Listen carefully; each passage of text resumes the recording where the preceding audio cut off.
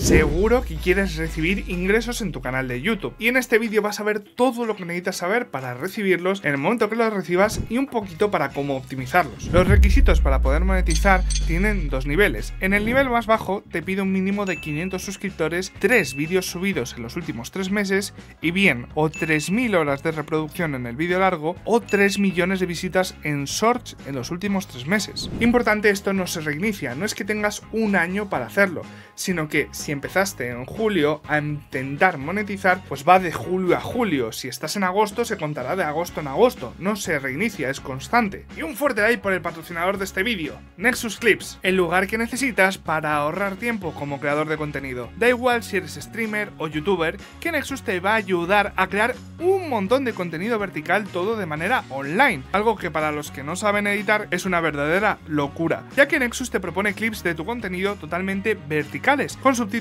automáticos y sacados de tus streamings o vídeos de YouTube. Yo no digo nada, pero Nexus ha sido una de las herramientas favoritas de muchos creadores grandes y su constante evolución es parte de su calidad. Tenéis el enlace de Nexus en la descripción del vídeo. Este primer nivel te da acceso a las donaciones de supers, que son las donaciones que puede hacer la comunidad en vídeos o directos, dejando un mensaje destacado, por ejemplo. También podrás activar los miembros del canal, cuyo precio podrás personalizar al gusto, así como sus ventajas. Eso sí, recuerda que YouTube se lleva una comisión de todo. Y por último, las compras. Poder habilitar tu tienda enlazada con la web donde estés vendiendo normalmente tus productos. Pero, ¿y los anuncios? Esto se habilita con el siguiente nivel, que te pide 1000 suscriptores mínimo y bien, o 4000 horas de reproducción o 10 millones de visitas en Shorts en los últimos 3 meses. Esto te habilitará poder poner anuncios en tus vídeos horizontales y Shorts. Eso sí, no todo vale, porque para contabilizar las horas de reproducción que te exigen, ya sea en las 3000 o las 4000, hay unas horas válidas y unas horas no válidas. Las horas válidas son aquellas que proceden de un vídeo horizontal que esté público, ya sea un vídeo, un directo, un estreno, siempre que se quede público. En el momento que ocultas o borras un vídeo, se elimina de tus horas de reproducción válidas. Y no,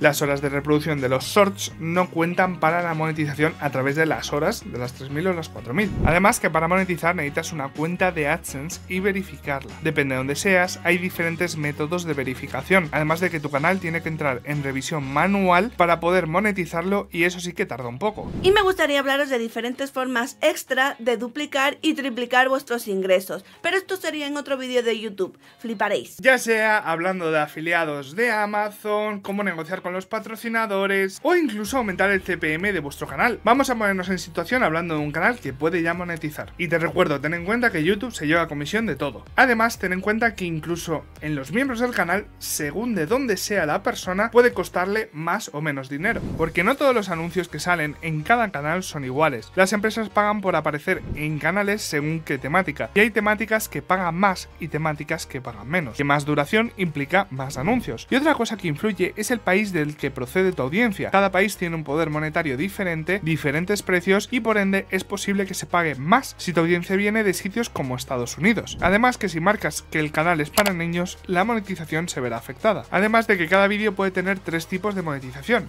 la normal, la limitada o no monetizable. Normalmente la monetización limitada suele ser el terror de los youtubers, ya que implica que estás compartiendo ingresos o cediéndoselos a otra persona. Incluso también puede pasar que tengas monetización limitada porque se limita la cantidad de anunciantes que pueden seguir en tus vídeos. ¿Por qué pasa esto? Por reclamaciones de copyright, denuncias de otros creadores de contenido o incluso porque tu contenido puede tener temas sensibles que no le interesa a la mayoría de anunciantes. Por eso se marca como limitado para evitar que esos anunciantes se vean relacionados con el contenido de tu canal. Una vez monetices y entres en la pestaña ingresos, verás dos valores. Uno se llama RPM y el otro CPM. Verás que el CPM es mayor que el RPM. El CPM es lo que genera tu vídeo cada mil visitas de media, pero siempre se pierden cosas por el camino. Comisiones, cambios de moneda, eh, calcular los anunciantes de ese día, la procedencia de tu audiencia, todas esas cosas. Y el RPM es lo que te llevas tú por cada mil visitas.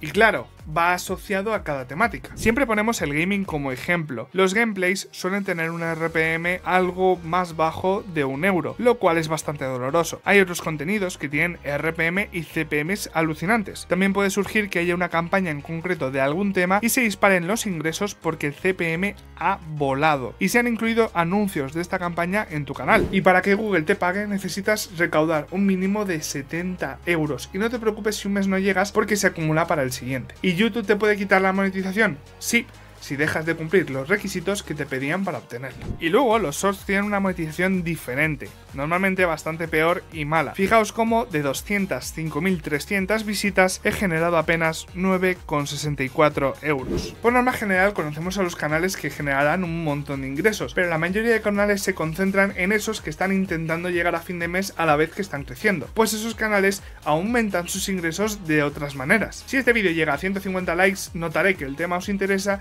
y en el siguiente vídeo os hablaré como de los ingresos que gano en YouTube, cómo lo hago para duplicarlos, incluso triplicarlos algunos meses, gracias a toda la audiencia que estoy generando en ese canal. Así que ya sabes, suscríbete en este botón o mira este otro vídeo. Venga, nos vemos. Hace calor, ¿eh? Me gustaría hablaros de diferentes maneras extras de... Ay, es que se me olvida. Luego criticas mucho cómo digo las cosas, cómo hago. Me gustaría hablaros de diferentes formas extra... Extra... Muy bien. ¡Bravo! Ahora la siguiente frase. Se ha hecho bien, venga, ya está, ya está, ya está. Una frase, venga, ya. ya merece así la pena, ya está. Adiós. Toma, dale una hostia a la cámara que te la has saltado.